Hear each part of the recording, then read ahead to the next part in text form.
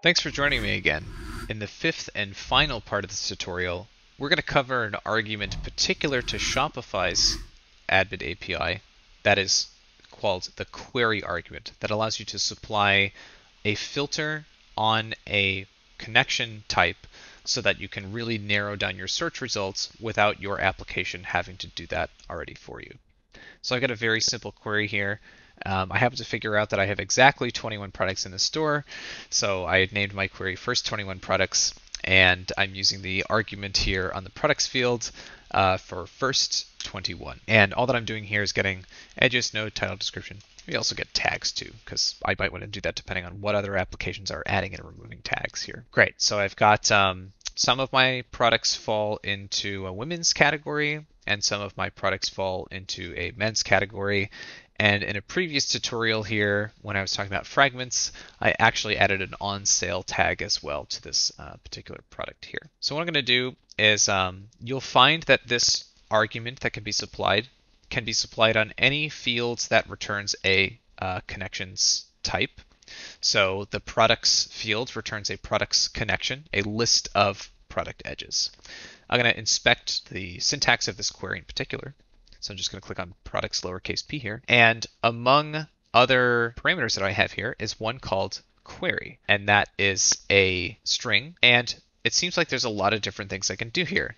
A little bit cut off by my own video, but things like barcode, created at, there's even a tag one, there's a SKU, price, product type, so on and so forth.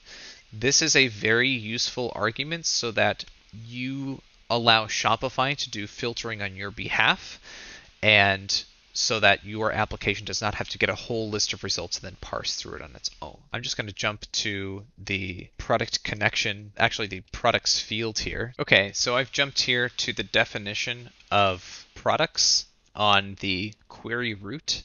Uh, just to see what kinds of things I can do and to show you a, a really useful link here as well. So on products in particular, and it'll be different depending on what type of connection you're getting back, it's saying that you can essentially use these properties of the product for your filter. All these ones here. And the important part here is this link uh, at the bottom here that says, how do you actually use these? What's the what's the syntax that you use to supply this argument? So I'm going to go to a detailed search syntax here for more. And there's a whole specification on how to use this particular search syntax. So there's quite a lot of formal specification here, but I find the examples to be the most useful if you're just getting started. And so it kind of looks like this. You're going to say query equals. We're actually going to use equals and then colon are actually going to be the same thing. And we can use connectives like and or or to chain different ones together. We can specify whether things should be equal or using other comparison operators. Um, we can even say things like not. So uh, this one comes in real handy as well. And here's a kind of a definition of the comparators as well. So uh, going back to the store here, the way I'm going to do this, you know, I didn't know the ID ahead of time. I want to say, get me the product whose title is ocean shirt blue. I don't I don't know the ID ahead of time. I, I'm just trying to do a lookup here. So what I'm going to do is I'm going to supply the query argument. So query colon, and then the query itself is a string. So I'm going to uh, put in a set of double quotes here, and just going back to query here. Yes, I can indeed do by title. So let's do title. And the way that I'll do it is like this. I'll say title colon ocean shirt blue and I'll run that query. Great. So instead of getting me all 21 products in the store, I actually only got back this one because the title matched. Let's do something a little bit more sophisticated or uh, practical. This was good for a, a title lookup. This could also be used for something like a SKU lookup because it so happens that SKU happens to be one of the uh, things that I can look for. One of the most common use cases of this is finding all products by tag. Uh, it looks like tag here is the syntax that I need to use. So I'll say tag, and I believe the schema in my own store for my own tags is that I have uh, lowercase men and lowercase women. So I'll do women. And this returns all products only where the tag on them is women. And a really, really useful one as well that some partners and merchants are frequently asking about is, well, how do I get everything that doesn't have a tag of something? So uh, in an example I had, uh, if I were to remove this query entirely, just temporarily, and reissue this query, I have one product that's on sale. And so of interest sometimes is, well, how do I get all of the ones that aren't on sale? Well, if I go back to the search syntax here, I'm going to scroll down to this modifier. And so it looks like what I want to do is say minus in front of the field in question that I want to eliminate. Use the colon as the comparison operator to say equal to, and then um, the tag itself. So what I'll do here is I'll say uh, query. Again, it's a string. And I'm going to say minus tag on sale. Now you'll notice that if I were to scroll through here, I get everything that is doesn't include the tag on sale. I could equally well combine this. So like, let's say I didn't want tag on sale.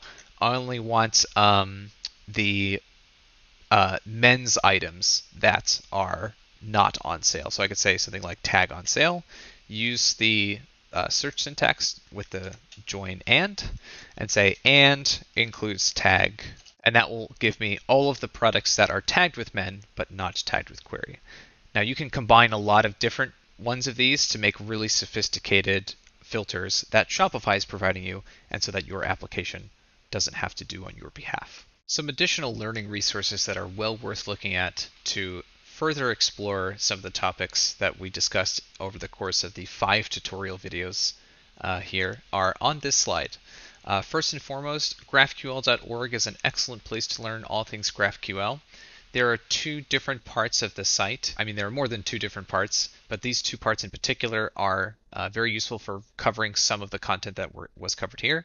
The slash learn resource has a lot of the concise, kind of bare bones descriptions of these different features, things like aliases, fragments, working with pagination, so on and so forth. The code section of the website uh, has a listing of different server and client libraries that you can start working with if you want to move beyond GraphiQL to work with. So this resource is actually where I was first introduced to the GraphQL-request library that I demoed a little bit of in uh, my code editor in the first part of this tutorial when we looked at named operations and variables. If you're interested in more about this cursor-based pagination, where the specification came from, the source is from a library called Relay. This set forth the specification that many GraphQL schemists now use. Highly recommend checking that out. And if you want to see the difference between cursor and offset pagination, I highly recommend this blog post um, from hasura.io. Uh, Shopify also has a concise guide to some of these topics as well, as well at the Advanced GraphQL Topics section linked here. So that kind of covers the using aliases to use the same fields more than once and fragments to actually retrieve the data. And then importantly, if you ever need a, query, a reference for that query argument, you can use this last link down here, the Shopify API search syntax. If you found this video helpful, make sure to like and subscribe to our channel. We upload helpful videos every week to assist you in your development work on Shopify. And remember to check out the links in the video description box underneath this video. Thanks for watching!